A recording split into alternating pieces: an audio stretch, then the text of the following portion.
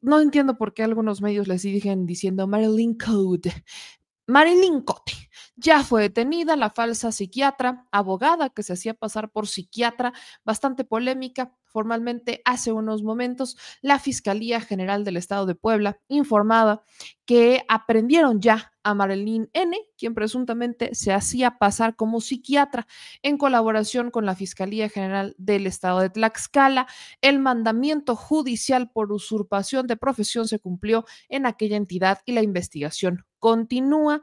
De hecho, vamos a poner qué es lo que dijo el fiscal Gilberto Higuera sobre el tema. Nuestra investigación está incluyendo todo su entorno, diríamos, para decirlo de manera más general, el entorno de su actividad y lo que pueda implicar eh, hechos ilícitos la Fiscalía General del Estado de Puebla aprendió a Marilyn N., quien presuntamente se hacía pasar como psiquiatra, en colaboración con la Fiscalía General de Justicia del Estado de Tlaxcala. Pues ahí está, formalmente detenida Marilyn Cote. Sobre esto es importante también decir que el Congreso Local del Estado de Puebla, digo, tarde pero llegó, ¿no? Tarde pero llegó, empezaron a generar una serie de propuestas en el Congreso local como por ejemplo la ley de profesiones para el Estado Libre y Soberano de Puebla para evitar fraudes de profesionistas, como fue el caso de Marilyn Cote. Esta iniciativa fue presentada por el diputado local José Luis García Parra, eh, que además va a estar en el gobierno del ya próximo gobernador Alejandro Armenta. Él estará eh, muy cerca, de hecho, de Alejandro Armenta. También, por ejemplo, hace unos días, eh, Roberto Satanaín, también diputado local del Congreso del Estado de Puebla, también presentó una serie de iniciativas eh, justo para poder, ¿no? Evitar, para poder evitar que este tipo de cosas vuelvan a ocurrir. Algo que también me parecía eh, importante, pero esta iniciativa, la que hace eh, Roberto Sataraín, de hecho es una iniciativa que llega desde el 15, ¿no? Desde el 15 de noviembre relacionado con el tema. Eh, lo que él dice en particular es que el caso de Marlene Cote mm, es una llamada de emergencia, lo que le faltaba a Puebla. Vamos a escuchar brevemente lo que dijo el diputado. Amigos y amigas, Puebla enfrenta muchos retos importantes y el caso de Marilyn Cote es uno de ellos. Más allá de los memes, de parecer una historia graciosa, es algo preocupante porque conforme han pasado los días, salen más historias de personas víctimas de esta presunta charlatana, hija de todo su Photoshop, y lo digo así, porque con la salud y la vida de las personas no se juega.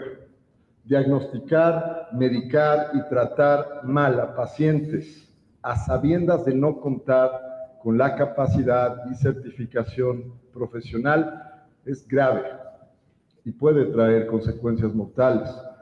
Para dimensionar lo que estamos enfrentando y con el respeto y empatía que debemos tenerle a las víctimas, considerando qué asintieron en hacerlo público, se vuelve importante darles voz en esta tribuna. Alicel tenía 26 años y una tristeza que no la dejaba dormir cuando encontró en internet a esta pseudo doctora que la diagnosticó con un trastorno de personalidad narcisista. Regina, de 19 años, a quien la ansiedad la tenía desesperada, encontró en internet a esta señora que la diagnosticó con esquizofrenia. A ambas, desde las primeras sesiones, les recetó antidepresivos y antipsicóticos. A una por negarse a tomar los medicamentos, Marlene Cote le dijo que entonces llegaría al suicidio. Otra sí los tomó, pero no hubo mejoría. Al contrario, sufrió efectos secundarios y a pesar de todo les cobraba mil pesos por sesión, donde a veces duraban solo 20 minutos. Afortunadamente en ambos casos, después de tiempo, encontraron a psicólogas y psiquiatras que refutaron los diagnósticos de la señora Cote y las ayudaron a salir adelante. Lo rescatable de todo esto es que ya se supo que las autoridades están llevando las investigaciones no solo para que esta señora pague y se le castigue, sino para sentar un precedente más, porque a ver, ¿cuántas y cuántos Marilyn Cotes están hoy mismo en activos sin tener las credenciales necesarias? Pues ahí está lo que dice el también diputado de Morena, Roberto Sataraín, sobre el caso de la farsante Marilyn Cote. Vaya, al menos fue detenida. Solo quiero recordar un poco el, desarrollo que tuvo la Fiscalía General del Estado de Puebla, porque cuando el, estado, el, caso estalla, el caso estalla en las redes sociales y, salpicó a varios, incluso a medios de comunicación y al propio Congreso y al, vaya, a la propia Secretaría de Cultura del Estado de Puebla, porque la habían invitado como si realmente Marilyn Cote fuera la gran psiquiatra que no solamente photoshopeaba sus fotografías, sino que además photoshopeaba sus certificados y que justificaba que ella le ponía los logos a las supuestas credenciales que la certificaban como psiquiatra, especialista en identificación de conductas diciendo que es que era muy tardado y muy complicado gestionar los trámites, o sea, se aventaba un choro mareador.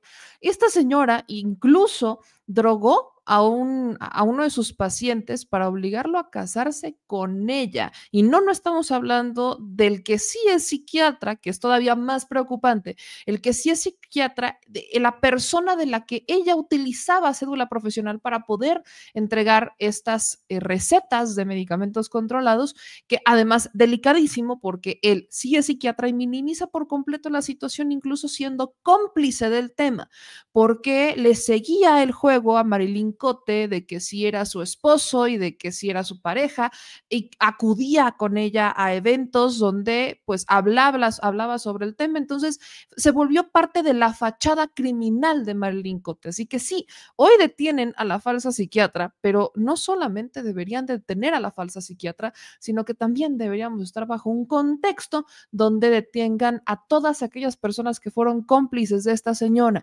Vamos a ver en qué avanzan las propuestas que se han presentado en el Congreso del Estado de Puebla, que hoy, por ejemplo, presentan una, ¿no? Para eh, tener ya un, servicio o un sistema bien asegurado en materia de profesionistas, mientras que del otro lado la falsedad de este tipo de personajes, pues es bastante criminal. Hay que ver en qué desemboca la situación que inicialmente no quería no estaba siendo investigada porque no había denuncias, pero cuando el caso estalla, incluso hasta en la mañanera de la presidenta, creo que no tuvieron más que simplemente atender el caso. Así que aquí le seguiremos dando seguimiento, pero ya cayó Marilyn